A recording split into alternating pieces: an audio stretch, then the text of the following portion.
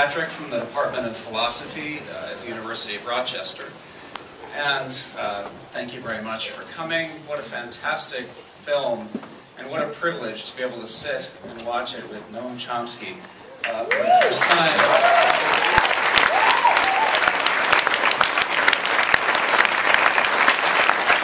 And, filmmakers Peter, Kelly, and Jared. Um, thank you all so much for making this film.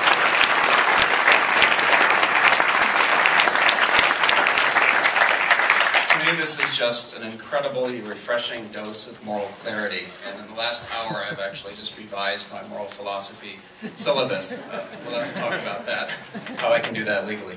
Um, it's fantastic. So I just want to take a couple minutes before we start to tell you a little bit about uh, how this event came to be. So as you may know, uh, Professor Chomsky is here as the University of Rochester's distinguished visiting humanist.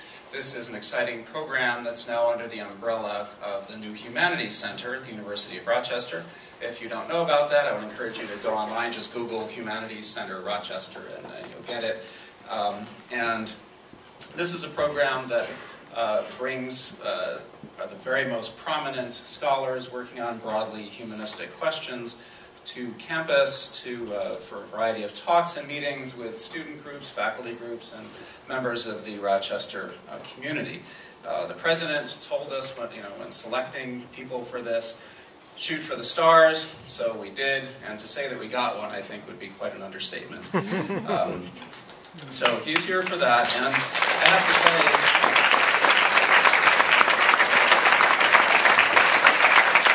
I have to say we've been working Professor Chomsky pretty hard these past three days. Uh, this is our final event. Uh, and you know, from the beginning, we had scheduled the big talk yesterday. Another film, and Michel Gondry's film, is The Man Who Is Tall Happy. That was Wednesday night on campus. A variety of meetings with students and faculty. Um, but it was thanks in particular to Tanya uh, Bakhmetyeva that we added this event to our program. Tanya, uh, she was the one who contacted the filmmakers, thought this would be a great idea. And I also want to thank, thank Bree Merkel from the Little Theatre who contacted us um, with the suggestion of partnering with the university to screen the film here at our favorite community theater. So uh, that was a wonderful idea too. Um, so here we are, right, ready to have a conversation with Noam Chomsky and the filmmakers about their film, Requiem for the American Dream, and uh, about the problem of inequality. So now I'd like to introduce my colleague at the University of Rochester in the Department of History, uh, Professor Stuart Weaver, who will um, handle the Q&A. Yeah, moderate. I'm going to borrow this from Professor Chomsky for only one brief moment.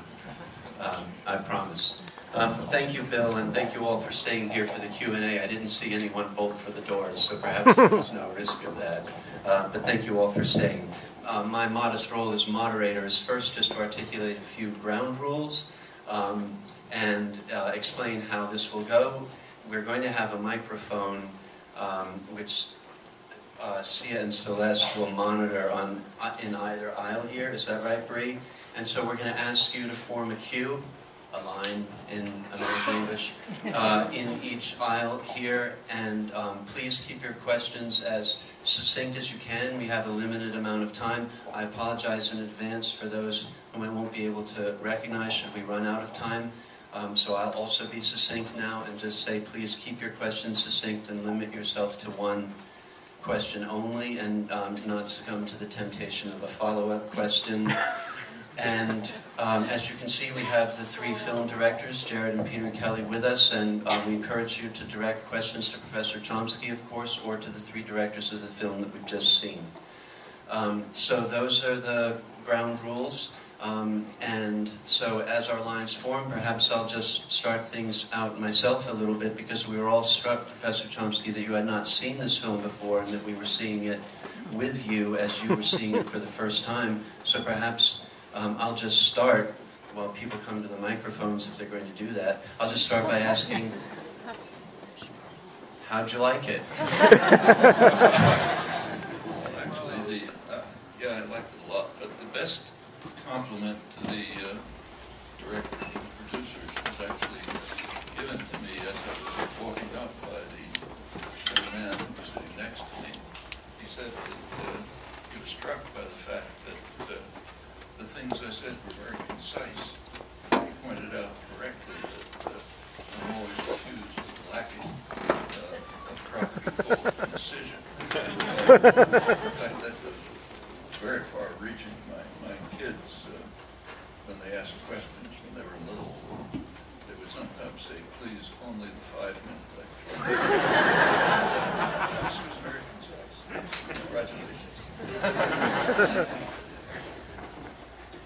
All right, shall we begin stage right? See it? Do we have a microphone down here?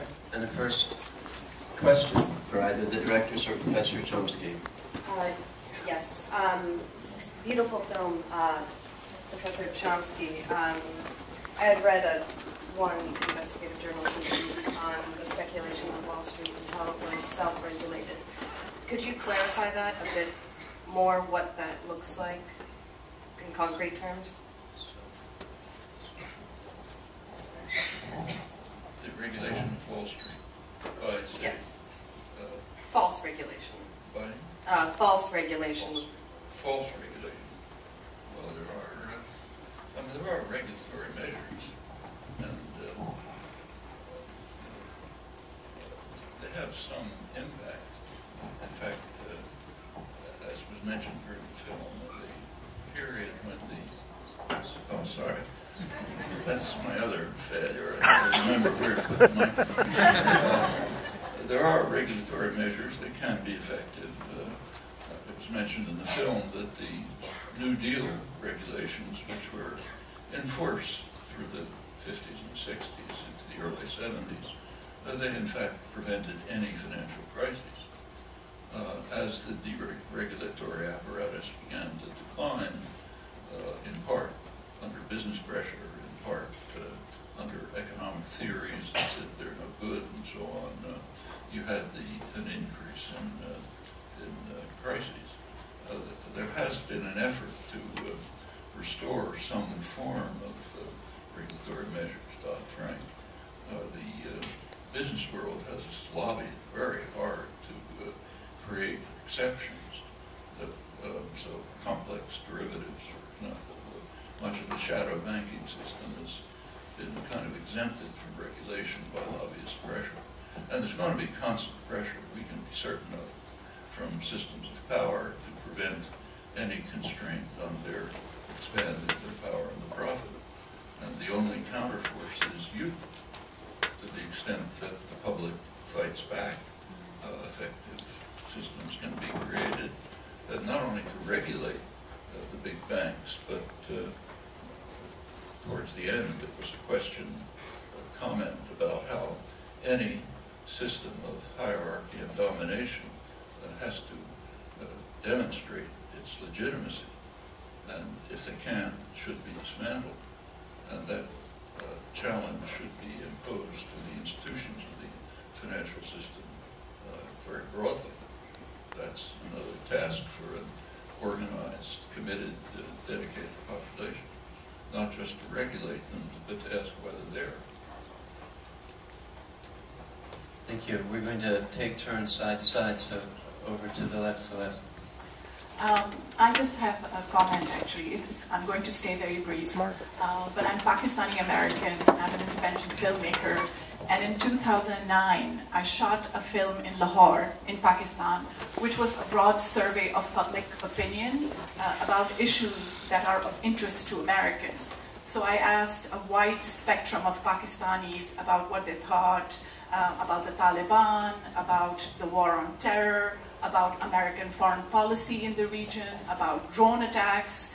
And um, most of the people I talked to were actually very astute as far as politics and knew a lot about not just Pakistani politics, but also American politics. And they talked at length about how uh, the media is very corporate in America, and so the American public is very brainwashed.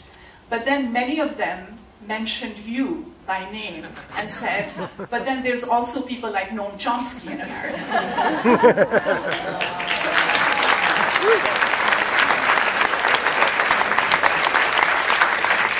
so I, I just wanted to share that with you, that you as an individual are an antidote to American imperialism and aggression in, in, in a, a, a lot of the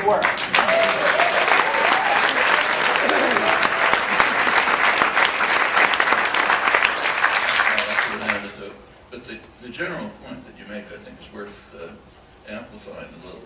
Uh, Global opinion is of great significance, and one of the techniques of manufacturing consent is not to report it, uh, literally. So, for example, there are regular polls of international opinion on all sorts of issues, uh, not taken by obscure organizations. They're taken, for example, by the Gallup, uh, the international affiliate of the Gallup polling organization, the main U.S. polling organization. Uh, One of the questions they ask is, which country is the greatest threat to world peace? Uh, By an overwhelming margin, the United States wins. Uh, Second is Pakistan, way down below, and that's inflated by the Indian vote, of course. And, Countries that we call the gravest threat to world peace, like Iran, are barely mentioned. Well, how many of you read this in the newspaper? Basically zero. It wasn't reported. I think there may have been one report, some, in some tabloid in the United States, which uh, said, uh, look how crazy the world is, or something like that. But it's just not reported. A couple of weeks ago, there was a poll uh, taken among young people in uh, Iraq, uh, Yemen, a couple other countries, I forget which, maybe Pakistan. It turned out ninety percent hate the United States. Uh, Why? Well, there are reasons for it.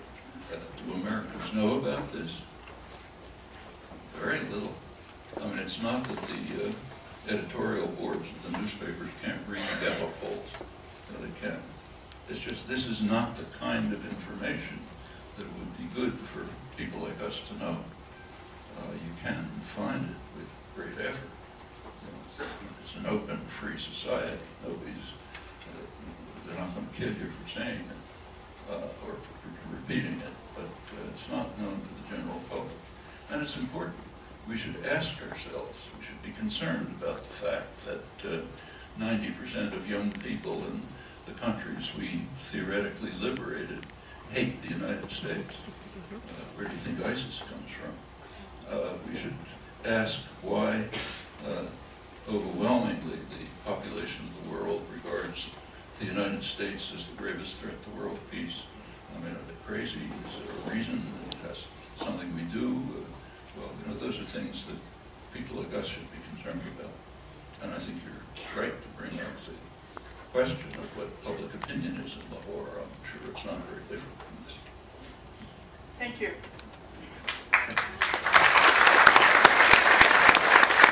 That was an object lesson, and now you take a compliment and turn it into an opportunity for thoughtful commentary. Hi, Professor. Um, thank you so much for this opportunity, and uh, I'm really grateful for the experience. Thank you for coming. Um, my question's in regards to um, technology. Um, with low-skilled and uh, high-skilled labor being outsourced um, towards machines, uh, do you believe this will result in a, a positive or negative um, relation towards um, income inequality um, in the future? And you think, actually, I'll leave it at that. Um, uh, with technology um, replacing people in the workforce, uh, do you believe this will lead towards um, um, the wealth gap lessening, or like which where do you see the trajectory of this going? So would the rise of technology jeopardize jobs and so on? Is that, is that the question? Or lessen, lessen, lessen income inequality. Lessen income inequality. Well, actually, uh, you know, technology's kind of neutral, It depends how it's used. Uh, the- There's a lot of talk about uh, robotization and so on, eliminating jobs. But there's no sign of that, absolutely no sign of it. Uh, In fact, there's, uh, if you just take a look around the country, uh, any city you look at, any place, there's a huge amount of work to be done. I is collapsing, uh, the educational system doesn't have enough teachers, uh, you know, people can't find uh, medical aid. Everywhere you look, there are huge numbers of problems, there are huge problems of lack of work that has to be done, that ought to be done to improve the society. There's plenty of people who want to do the work. In fact, uh, labor, the the participation of the labor force in actual, potential labor force in actual labor is quite low. So plenty of people want to do work, a lot of work to be done, plenty of resources. As was mentioned in the film, uh, corporate profits are going through the roof.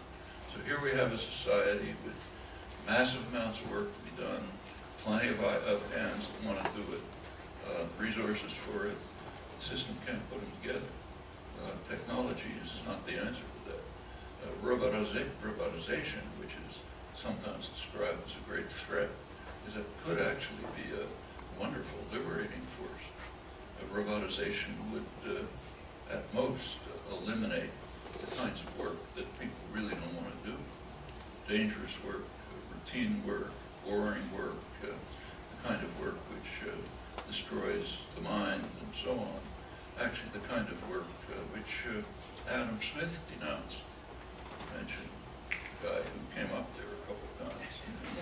Adam Smith is famous.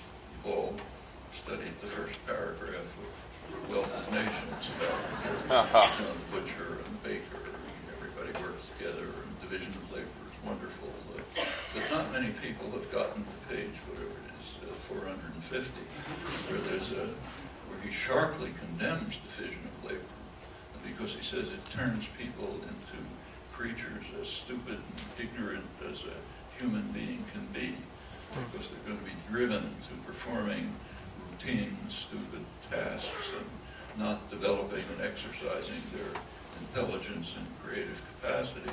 So therefore, in every civilized society, uh, the government would have to intervene to prevent this from happening. Well, uh, one way of preventing it from happening would be to take the routine, boring, uh, mind-destroying work and let robots do it. That could be liberating, frees people to do creative work. Uh, It's not going to be used that way unless the population forces it. It could very well be used just to uh, undermine what limited opportunities for work there are. But those are choices. There's nothing in the technology that decides how it's going to, how it should be used. Can I jump in with a follow-on? Please. You spoke to, and this was one of the things that we spoke to when we interviewed you, but we obviously had to make choices to keep the film at a certain length that we would consider viewable by consider exactly. There are there are things that are not disclosed in the media, particularly in the United States. For example, that the BP settlement was not a fine. They didn't go to verdict with the judge. They actually settled out of courts, and, and therefore it has a large percentage of that, which is tax deductible. But that's not reported because I would imagine that anyone who isn't even a self-identified environmentalist would find that a grave injustice and would be catalyzed to action. Could you speak to what are the mechanisms that that see? What are the processes? Because one of the things that we so enjoyed about making this film was that you lay out these best practices, you lay out these mechanisms, and it demystifies that process. But how do you see now the media and the way that it is being directed, the way that it is being moved, so that we don't see the type of reporting on issues of prime concern to civil society that might allow us to be informed and take the action required? Uh, I don't think you can make a blanket comment on it.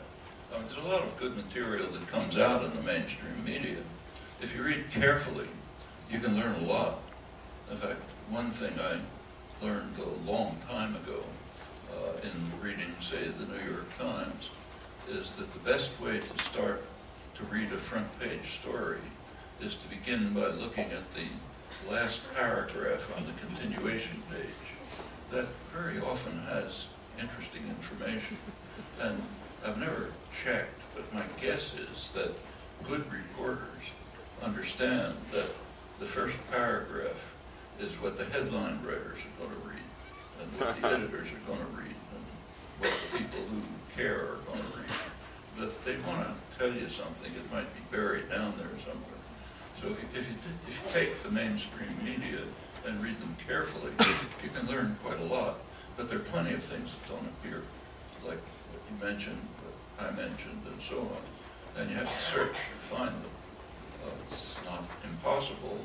And uh, if we do reach the kind of society that's described there, of isolated individuals, you know, you and your iPhone, this was a couple of years ago, said you and your television set. But if the society consists of you and your iPhone, you're not going to learn these things. Uh, The way people learn is by interaction. Uh, That's even true of the advanced sciences. If you go to a research lab in the sciences, people are talking to each other, challenging each other, presenting ideas, getting reactions, uh, reactions from students, and so on. Uh, If you're isolated, you may be an individual genius who can figure things out, but it's not likely. You don't have the resources or the support, encouragement to try to find out who you are, what's happening in the world, where, where you should be looking, and so on. So if in organized societies with functioning, significant organizations, like labor unions, which were very educational force, not just fighting for workers' rights. Workers' education was a major phenomenon in the uh, live, active unions. And that kind of political associations, others, uh, then you can learn where to look. You can, you can encourage each other, you can inform each other, you can have your views challenged, uh, refine them, and so on. Then you can overcome the very natural efforts of uh, elite institutions to protect you from what they don't want you to know. Uh, So it's uh, like everything else, constant struggle against power. Thank you, Nathaniel. Good evening, uh, Professor Professor Chomsky. I'm, I'm thrilled that you're here, and I'm sort of having an out-of-body experience just talking to you right now. um, I wanted to speak, uh, ask you a question specifically about U.S. support for Israel. Um, I've been an active member of the local chapter of Rochester Jewish Voice for Peace, um, and it seems like, you know, sort of as a nation, we're on there's a sort of dichotomy where, on the one hand, um, U.S. support for Israel has gotten has ramped up and has gotten more draconian, um, but at the same time, there's also more, I think, grassroots resistance um, as well. So my question was regarding media coverage. What advan- What can we take uh, advantage of? Um, in, in the media as political activists to educate um, the American public on the realities of the Israeli occupation of Palestine. Uh, Well, first of all, let's, let's take the phrase U.S. support for Israel. It's a pretty misleading phrase. Uh, Does U.S. policy support the population of Israel? It supports Israeli government policy, but to call that support for Israel means presupposing that state policy is help, is designed and implemented for the benefit of the population. And I don't think it is.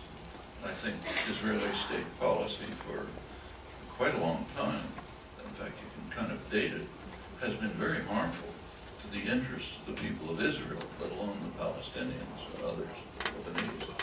Uh, And there's good reasons to believe this. Uh, One of the things that doesn't get reported. So I think if you look at the history of uh, both U.S.-Israeli relations and Israeli policy, there was a very fateful decision made in 1971. Now, You can find it if you do some research. It's not in the main books.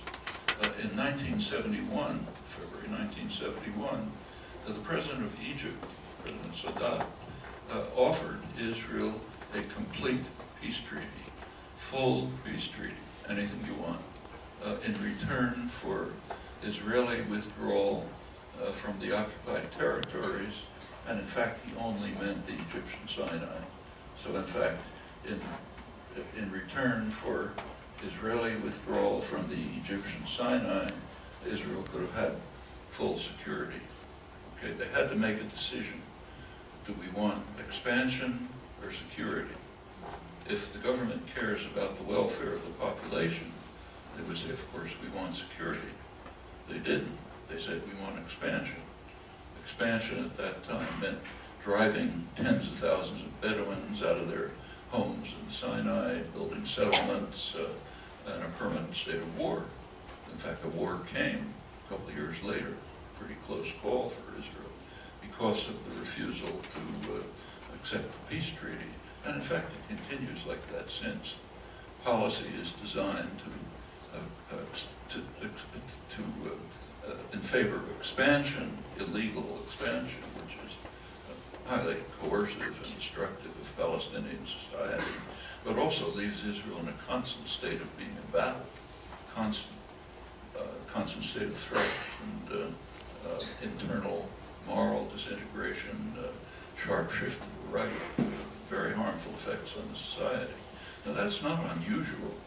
Uh, governments are not in business to uh, benefit their populations.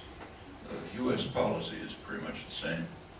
Uh, if you take a look at, uh, take say the major threats that really uh, threaten the continued existence of an organized, uh, relatively civilized society. There are two of them. Nuclear war, global warming. Is the government uh, dealing with those threats? Yeah, by increasing them. And this has been going on for a long time. Yeah, like that. The government policy is, is designed to implement state power and the power of dominant elements within the society. Here it means mainly the corporate sector. Uh, The uh, welfare of the population is secondary and often not cared for at all. Uh, And this is true of what's called U.S. support for Israel. Well, that's not your actual question. I think that's uh, some, I'm sorry about the lack of precision. This is a 10-minute lecture. But but that's, I think that's something in the background that always ought to be thought about. Now, as far as uh, U.S. support for Israeli state policy, uh, that has many roots. Uh, Some of the roots are simply uh, geostrategic, uh, since the the current U.S. policy towards Israel was pretty much uh, founded in its current form in 1967. Before that, it was kind of a mixed story. Uh, But uh, in 1967, uh, Israel performed a great service for the United States and for the uh, radical Islamic states that the United States supports. The United States typically has supported uh, radical Islamism in opposition to secular nationalism, just as Britain did before it, and for good reasons. So the most extreme radical Islamic state in the world is Saudi Arabia, our main ally. At, at that time, there was a conflict between radical Islam and secular nationalism in the Arab world, between Saudi Arabia and Egypt. And uh, Israel destroyed secular nationalism, supported radical Islam, uh, the oil dictatorships. The U.S. aid to Israel shot up uh, in, uh, and, policy was really shifted to support for Israeli power, Israeli state action. 1970, uh, once again, Israel made a great contribution to U.S. power in the region. Uh, the uh, 1970 was uh, there was a Palestinian uh, uprising in Jordan, and Jordan's a U.S. ally, U.S. British ally. Uh, it was crushed by a Jordanian force, it's Black September. It looked for, and the U.S. was very much in favor of that, as was Israel. Uh, it looked for a moment as though Syria might become engaged to protect the Palestinian population who were being decimated in Jordan. U.S. didn't want that, but the U.S. was in no position to intervene. If you remember that time, spring of 1970, it was right after the invasion of Cambodia. The country was blowing up. The colleges were closed, people were, you know, marching on Washington and so on. The U.S. couldn't get involved. So it requested Israel to mobilize its forces to threaten Syria to back off, and they did. And Black September went on. Uh, U.S. aid to Israel quadrupled that year. And so it continues. There's many, Israel has become a, a what's called a strategic asset, performs many actions supportive of Israeli, of U.S. power. So say under Reagan, uh, the U.S. wanted, Reagan wanted very much to participate directly in what was virtual genocide in the uh, Guatemalan highlands. But Congress, under popular pressure, had restricted U.S. participation. So Reagan had to form an international terrorist force uh, to take over for him. Israel was in the forefront. They did the training of the Guatemalan officers. They provided the arms. Uh, until today, the Guatemalan army is, uh, uses Israeli arms Israeli training. This kind of thing goes on all the time. Uh, that's one factor, but there are other factors. Uh, one reason, uh, one critical factor is uh, uh, the United States happens to be an unusually religious society. By international standards, uh, there are very few societies where there's as much religious extremism as in the United States. And a lot of the religious extremism is a version of evangelical Christianity, which is pretty much the basic Republican Party, which happens to be both violently anti-Semitic and strongly in support of Israeli policy. if you look at the theology, think of the theology, the idea is uh, we, should, we should work to create uh, Armageddon uh, when uh, everyone gets destroyed, uh, the saved souls rise to heaven, the Jews go to permanent damnation. You can't be more anti-Semitic than that. Even, Hitler didn't call for that. Actually, uh, some versions, uh, 160,000 Jews uh, convert, find Christ in time, and they're saved. The rest are gone. But that means supporting the harshest, most extreme Israeli policies, maybe even trying to create a war between uh, Israel and the Arab states, then we'll get you know, the battle, Armageddon, you know, the whole story, and then uh, saved souls. That's a big part of the American population. And in the Republican Party, it's a large part of the base. Uh, there are other factors, too, that have never been studied, so this is kind of a speculation. Uh, but I can't, I can't give direct evidence for it, but you might think about it. If you look at support for Israeli state policy around the world, it's concentrated in the Anglophone countries, the United States, Canada, and Australia. What's special about those countries? Those are settler colonial societies, mm. societies in which European settlers came and essentially wiped out the indigenous population. What's Israel? It's a secular colonial society in which first European, later other Jewish immigrants came in and they're essentially trying to get rid of the domestic population. You can't just massacre them anymore the way it was done in the 19th century, the way we did it. Uh, but uh, these are similar, I suspect, the suspicion that there's a kind of a cultural sympathy to redoing our history. And it's deeper than that, because if you look at the early settlers in the United States and Canada and Australia, uh, they were religious fanatics.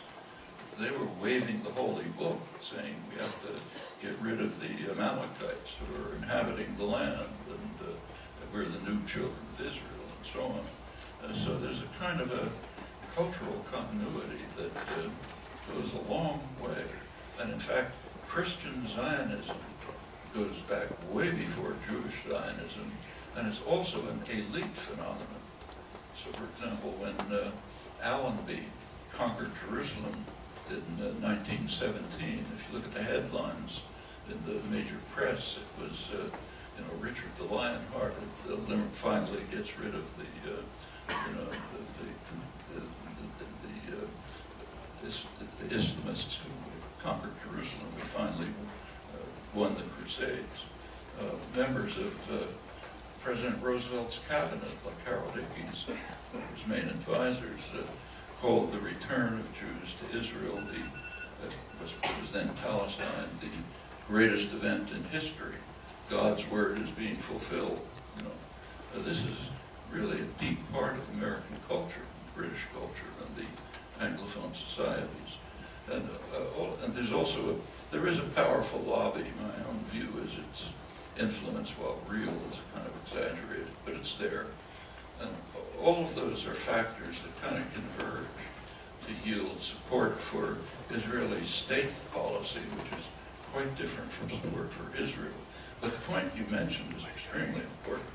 There is a change going on, mainly among young people, but that is where changes usually start on most things.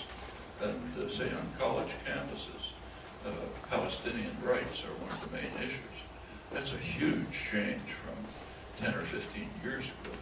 I mean, I see it personally. I literally used to have police protection if I was even going to talk about Israel and Palestine, uh, even in my own university, others too.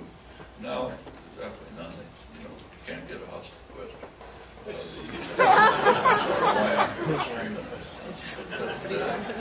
Those are big changes, and they could lead to a change in U.S. policy. And I think there are things that people should work for, simple changes that I think Jewish Voice for Peace should work for. Uh, Calling on the United States government to follow its own laws. I think that's a good place to start. There are laws.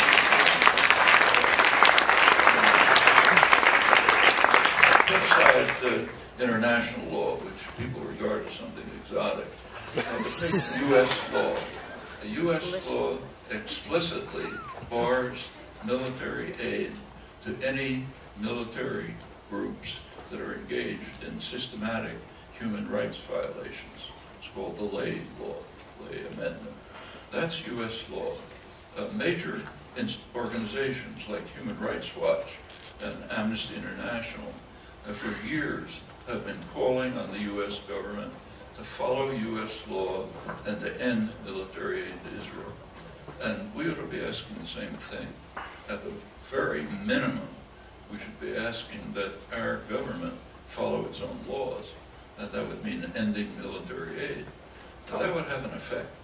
That would be one part of a more general realignment of policy, uh, which could lead the United States to basically join almost the rest of the world in calling for a political settlement. And that, that could have a big impact, I think. There's plenty that can be done. I think you begin.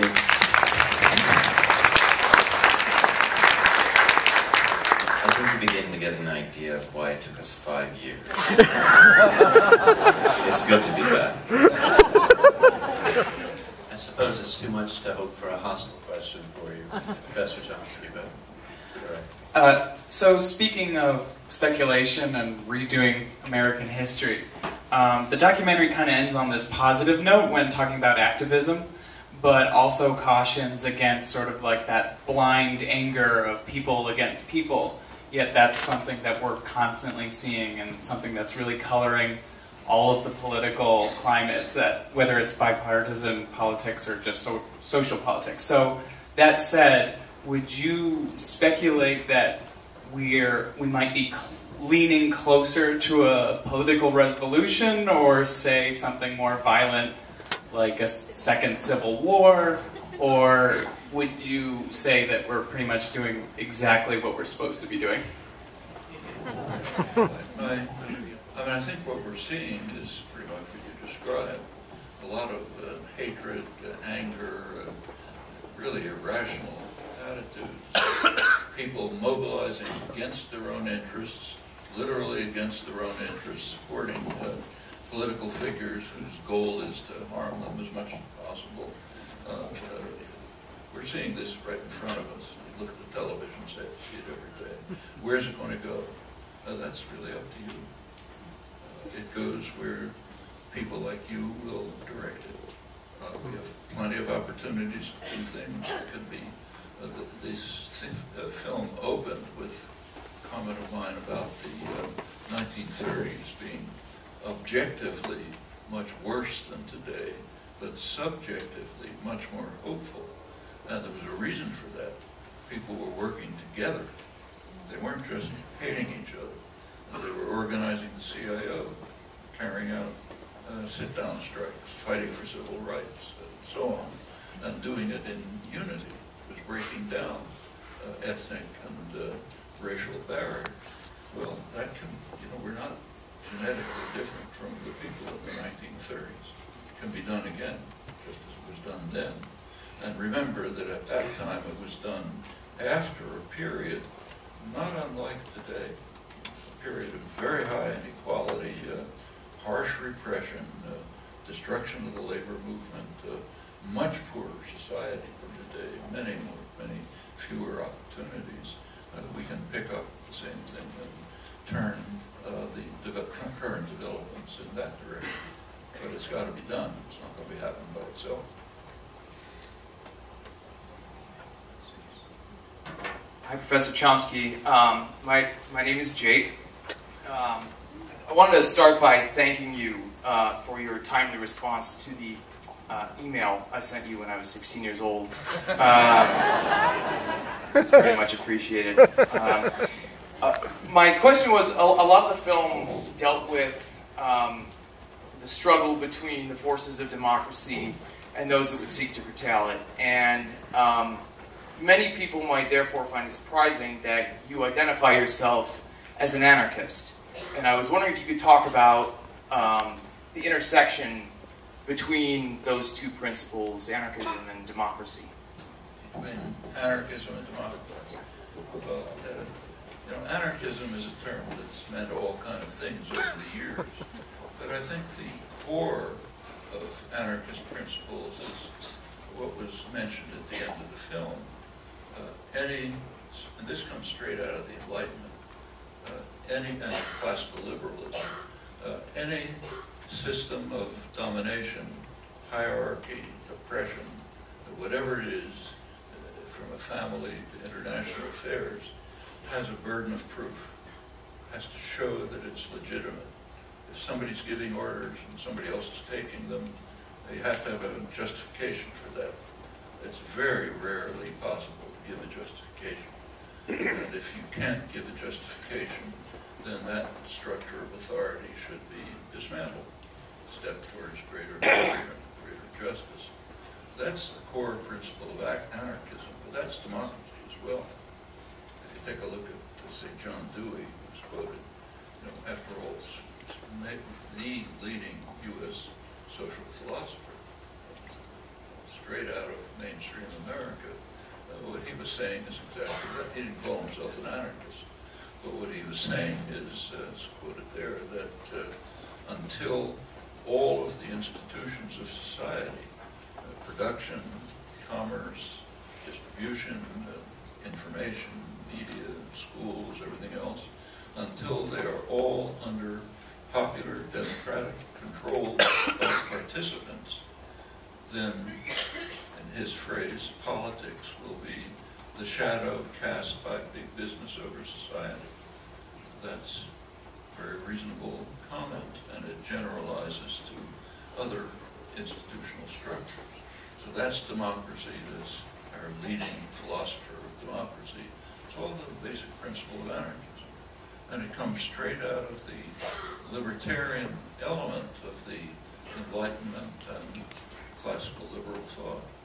So I, I don't think they're in opposition in any respect. They're kind of two ways of looking at the same kind of problem. Uh, Popular decision, decision-making in the hands of people who are concerned with the decisions and their impact.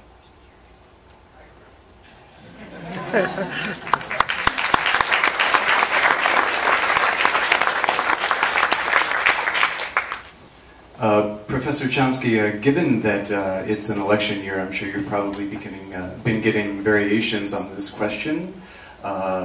But with the New York primary having happened not too long ago and more people engaging with some of the ideas in your documentary uh, in conversation and actively and in public spaces than usual, I just wanted to ask you which uh, presidential candidate uh, do you feel most closely reflects your understanding of the uh, systemic changes and corrosion or perversion of American institutional life and uh, I'm sorry if that's, you know, too direct. Uh, but, um, and do you feel that that candidate has an actual chance of enacting uh, the critiques if he or she gets elected? It's an actual sincere question. Thank you. If uh, we took a poll of the audience, we'd get about a hundred percent uh, uh, agreement on what my answer would be. Exactly who you think.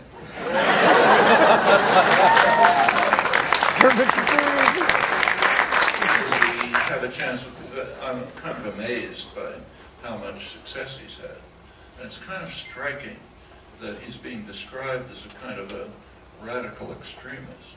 Actually, Sanders' views would not have surprised Dwight Eisenhower. He's a mainstream New Deal Democrat. Uh, Eisenhower, who was hardly a radical, uh, said that uh, anyone who doesn't accept New Deal policies doesn't belong in the American political system. That's Eisenhower. Uh, Taxes on the wealthy were way higher and so on. Uh, Eisenhower is not my ideal by any means, but I'm just trying to point out that what Sanders is calling for is, first of all, pretty mainstream, not long back, but it's also strongly supported by public opinion. So take, say, his uh, call for national health care. I mean, there are plenty of polls in the United States on what people think about the health care system. And it's pretty remarkable that there's very high support, often substantial majority support, for a national health care system.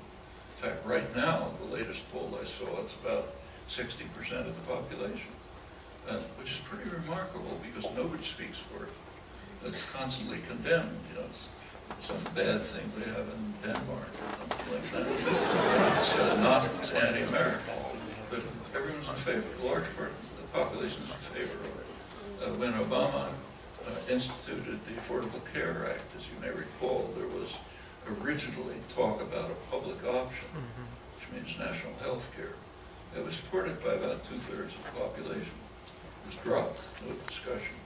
You go back earlier to the, uh, say, the late Reagan years, uh, about 70% of the population thought that national health care ought to be a constitutionally guaranteed right. And in fact, about 40% of the population thought it already was a constitutional right. The reason is, when you ask people what's in the Constitution, what they say is anything decent, you know, reads the Constitution. If it's sensible, then it must be in the Constitution.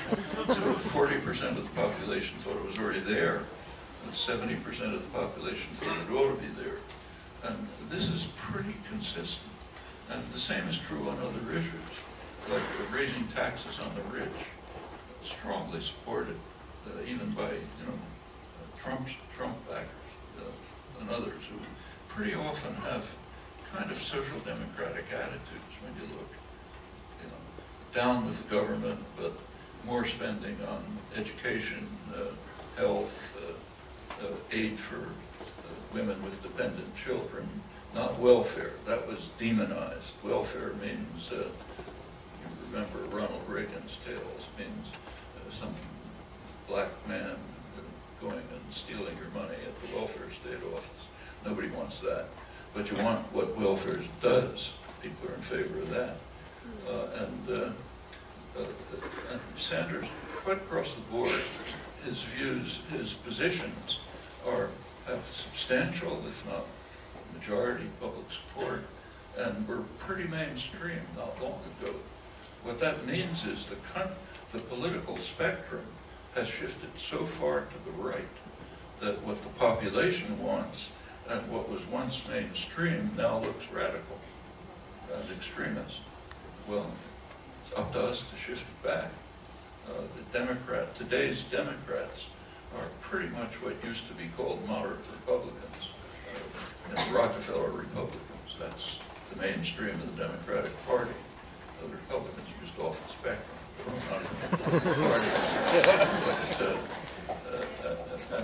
But, and, I am, I must say, pretty amazed by how far he's gotten. Uh, It's almost certain he's not going to win the election. But even if he did win the election by some miracle, he could do almost nothing unless there was mass popular support for the policies that he wanted to implement.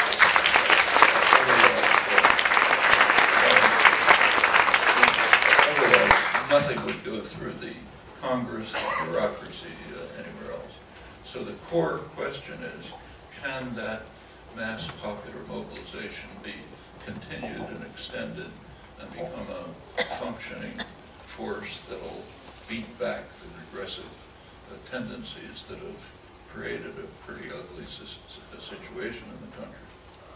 Could you actually, sorry, could you actually speak to, there was something that you had mentioned, the oligarchical nature in the United States as evidenced by the Princeton report, that I don't know, that people might not be familiar. Well, there was a public, uh, a study published by Princeton University, I guess about a year ago, by uh, Martin Gilens, mentioned, and Benjamin Page, who's a political scientist at Northwestern. The two of them are two of the leading uh, students of of political scientists who study uh, popular opinion and policy. Uh, And the study of the relation between popular opinion and policy is a kind of a major uh, component of academic political science, and it's a pretty straightforward thing to study. Policy, you can see, public opinion, you know of from extensive polling, and the polling is pretty reliable, consistent, gives you pretty good results over long periods. And this particular study by Gilens and Page uh, took, I think, about, was 1,700 or so, uh, policy decisions and compared them with public attitudes and with uh, business uh, interests, and you got the results you'd expect. They were uncorrelated with public attitudes and closely correlated with uh, corporate interest, which is not particularly surprising because it's the corporate interests that write the policies. Uh, The funding for campaigns is not just uh, to to get the candidate in, uh, even if your funding candidate, if you, if the people you're funding lose, still funding buys access. Every, all the funders understand that. If you fund a candidate, uh, that candidate is going to give you privileged access because he wants, he or she wants the funding to continue. Privileged access means that your corporate lawyers go to the staff of the legislator, uh, the people who actually write the legislation. The legislatures often don't even know what's in it. But the people who actually do the work, your corporate lawyers go and deluge them with uh, data, alleged data, you know, arguments, uh, tons of material, and basically write the law. So what comes out as policy is pretty much what's written by the corporate law lobbyists and lawyers uh, who gain the access thanks to funding. So the fact that uh, policy doesn't correspond to public interest is, shouldn't be a big surprise. And it's uh, similar to the, what was quoted in the film, the study by Martin Gilens, book called uh, Affluence and Influence, in which he showed pretty convincingly that uh, for 70, about 70% of the population, that means the lowest 70% on the income wealth scale, there was essentially no correlation between their attitudes and the, uh, uh, what their, their own representatives were doing. They were just uncorrelated, which means that that part of the population is essentially disenfranchised. And it's not just seventy percent. That means as you move up the income wealth scale, you get slowly slightly greater correlations but not very high. It's only when you get to the very top, and that means beyond the level of what the census data can give you, probably a tenth of a percent or so, standard guess. The basically policy is set. So of course, you want to get results like the Princeton result, which was a pretty dramatic one. It's worth looking up on the internet. Thank you. I want to give the father of one of our directors the opportunity to ask a question. See it, that that gentleman, right, thank you. Thank you. Thank you for uh, joining us, Professor Chomsky. I'm curious how you prepared for the film sessions. Did you outline notes, chapters? Was a stream of consciousness? How did you prepare for the film? How did I prepare for the interview?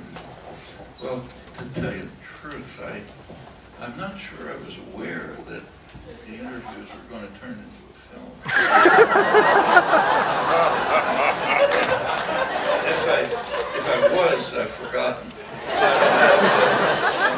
I mean, my- Surprise. My wife can tell you, when I go to work, I have several hours of interviews every day. And uh, they kind of all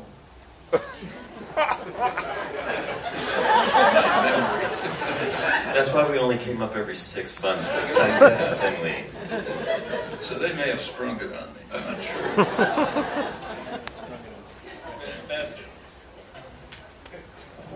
Bev was in on that. Bev is Professor Chomsky's assistant at uh, MIT. Michael? So I actually wanted to address this to the directors, um, and maybe Professor Chomsky can also comment. Um, I thought it was a terrific film. It's very powerful. Can you guys hear me? A little closer. Okay. Um, I hope a lot of people see the film, and I think one possible criticism, which I'd be very interested to hear your thoughts about, um, is the possibility that it places too much faith in the power of human rationality. Um, I think much of what the film seems to chronicle is this process of decline of rationality in the public sphere, the decline of democracy, et cetera, et cetera. Um, and, and you dramatize it very well. The visuals, Professor Chomsky's perfect embodiment of the virtues of rationality speak very well, very powerfully. But given that these masters of mankind have gotten so good at preying on our irrationality, um, they've gotten so good at perfecting the means and the instruments for keeping people in this condition where they're choosing to act in irrational ways. I'm thinking particularly with the power of advertising, consumption, uh, the mainstream media, et cetera, et cetera. What are, what are the chances, really, that any of these trends are going to be reversed if all that is so powerful film seems to make out? If you think about it, the, uh, the advertising industry, which spends uh, hundreds of millions of dollars a year to create, uh, uh, to create the kind of individual who's focused on uh, fulfilling artificial, uh, externally imposed and who are making, who are uninformed consumers making irrational decisions. The reason they're spending huge funds on that is because they think people are rational. Otherwise, they wouldn't bother. Uh, They're trying to turn people into irrational creatures, and they're putting huge efforts into it. Uh, uh, And I think they're right. They're not wasting their money. If they didn't do that, people would be making rational decisions. And I think the rational decisions would be essentially uh, dismantling uh, illegitimate author- authority and hierarchic institutions. You think there's evidence that people are fundamentally rational? You think that there's evidence that human beings are fundamentally rational? Well, I agree with the advertising industry. I think they probably are. And in fact, if you look over history, there, there is plenty of progress, uh, even in uh, my lifetime, the last generation. It's a very different society. Uh, you wouldn't have had uh, uh, events like this, or films like this, uh, 50 years ago. It was in, inconceivable. Uh, if, you wouldn't have had a mixture of a mixture of people like this 50, uh, 30 years ago, 20 years ago. It's changing. There's a lot of there's a lot more freedom. Not economic equality, but other kinds of equality that have been gained through popular struggle. That takes a, well, let me just describe my own university, but it generalizes across the country, in fact, in part across the world. And when I got to MIT in the 1950s, uh, it was uh, white males, well-dressed, jackets and ties, quiet, doing their homework, no activism, obedient, passive. Uh, now it's like uh, Rochester.